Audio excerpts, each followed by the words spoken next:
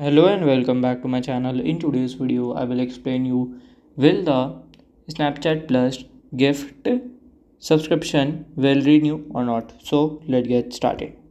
So here basically if your friend has gifted you the Snapchat and you have redeemed and note the gift are the one time purchase okay the subscription will be not recurring when the gift period will end then subscription will originally automatically end so this is uh, this is the thing that you can't uh, like again and again renew it.